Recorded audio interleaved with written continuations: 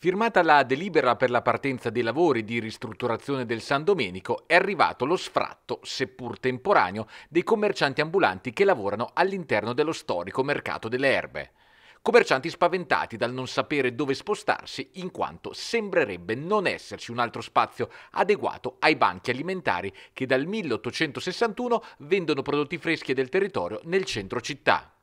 I fondi PNRR destinati al recupero dello stabile sono pari a 7 milioni 600 mila euro, di cui ancora solo il 10% è entrato nelle casse del comune, che prevede l'apertura del cantiere entro il 30 luglio di quest'anno e il certificato di collaudo con fine lavori entro il 31 marzo 2026. Per questi tre anni dunque i commercianti si ritrovano ad oggi senza un posto in cui lavorare e con proposte lanciate senza fondamento come quelle di ipotetici spazi in Piazzale Carducci o Piazzale Matteotti. Le alternative non sono molte, noi dobbiamo rimanere qui nel centro storico perché il mercatino delle erbe è un servizio per tutta la città.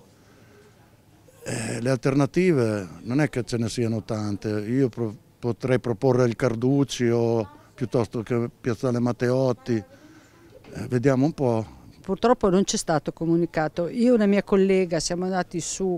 eh, dall'assessore, da un assessore e praticamente lì ci ha detto che eh, fine giugno, primi di luglio il mercato eh, veniva chiuso e noi eravamo fuori. Destinazione non sappiamo. Ci è stato detto così e sinceramente sapevamo sì di questi lavori, io sono vent'anni che sono qui, tutti gli anni se ne parla, arrivano i lavori, però sono vent'anni che sono qua e adesso che sono arrivati siamo un po' spiazzati diciamo, siccome anche che l'assessore che lavora per noi, l'ha saputo da dieci giorni e anche lui è un, po', è un po' così, insomma, deve trovare anche lui delle soluzioni, ha detto che ci aiuterà, però abbiamo, insomma, questo è il nostro lavoro. Il termine ultimo per sgomberare il mercato è previsto per giugno, periodo in cui c'è potenzialmente più lavoro, visto l'inizio dell'estate e i turisti che tornano a ripopolare le vie del centro storico. La fine di giugno e i primi di luglio. E purtroppo per noi è una stagione, sta arrivando, insomma siamo nel mezzo della bella stagione estiva che a noi porta più lavoro, quindi essere interrotti qua in mezzo a metà stagione ci dà molto fastidio, speriamo che, speriamo che capiscano e ci fanno star qui almeno fino a settembre.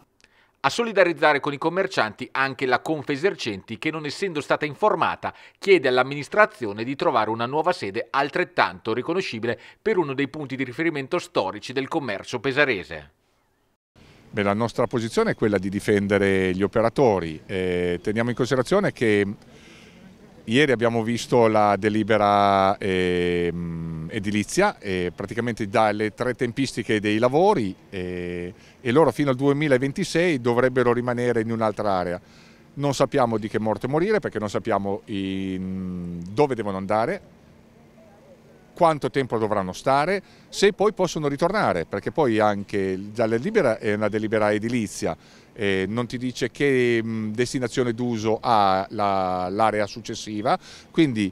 stamattina facendo un giro al mercato delle erbe con gli operatori uno mi diceva ma noi ritorniamo, un altro no, il dirigente ha detto che noi non torneremo, anche questo non è plausibile nel 2023 arrivare a questa mancanza totale di comunicazione fra chi ci comanda, chi ci governa e chi tutti i giorni cerca di vivere col proprio lavoro cercando di